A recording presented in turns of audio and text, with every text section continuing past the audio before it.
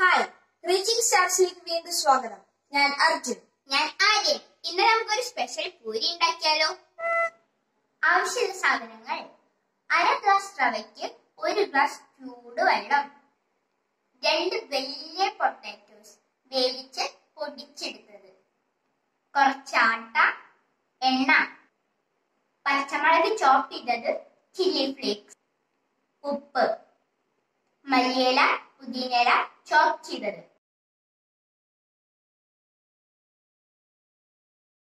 നമുക്ക് ഉണ്ടാക്കാൻ തുടങ്ങാം. ആദ്യം റവ ഈ ബൗളിലേക്ക് ഇടുക. പിന്നെ ചൂടുവെള്ളം ഇതിലേക്ക് ഒഴിക്കുക.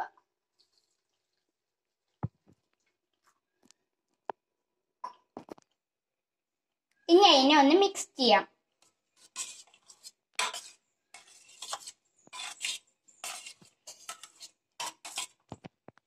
ഇനി റെസ്റ്റ് ചെയ്യാൻ പത്ത് മിനിറ്റ് അടച്ചു വെക്കാം. ഇതാ ഇപ്പൊ ഇത് സോഫ്റ്റ് ആയിരിക്കണം.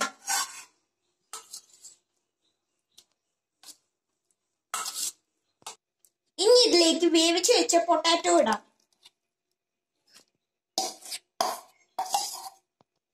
ഇനി നമുക്കിതിലേക്ക് പച്ചമുളകും ചില്ലി ഫ്ലേക്സും ഇടാം.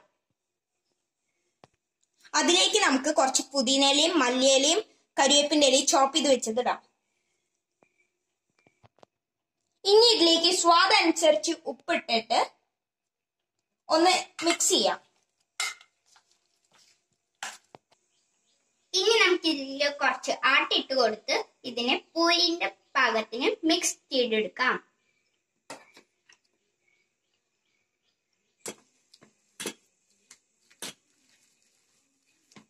ഇനി ഇതിലേക്ക് കുറച്ച് എണ്ണ ഒഴിക്കാം.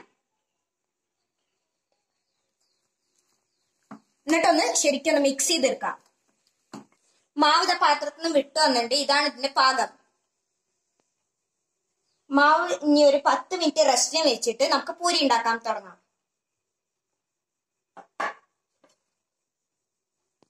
പത്ത് മിനിറ്റ് കഴിഞ്ഞിരിക്കണം ആട്ട ഭയങ്കര സോഫ്റ്റ് ആയിരിക്കും. അത് കാരണം കയ്യിൽ കുറച്ച് എണ്ണ തടവിയിട്ട് അതിന് പൂരിക്ക് പാകത്തിനുള്ള ഉരുളകളാക്കുക.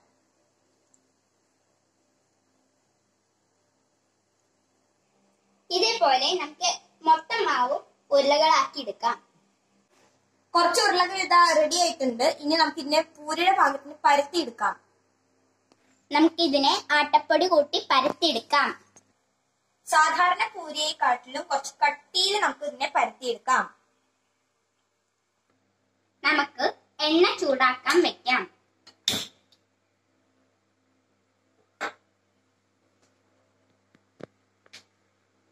മാവ് സോഫ്റ്റ് ആണ് നല്ലോണം അത് കാരണം പരത്തിയെടുക്കാൻ ബുദ്ധിമുട്ടുണ്ടാവും. അത് കാരണം കൈ കൊണ്ട് നമുക്ക് വേണമെങ്കിൽ ഷേപ്പ് കൊടുക്കാം.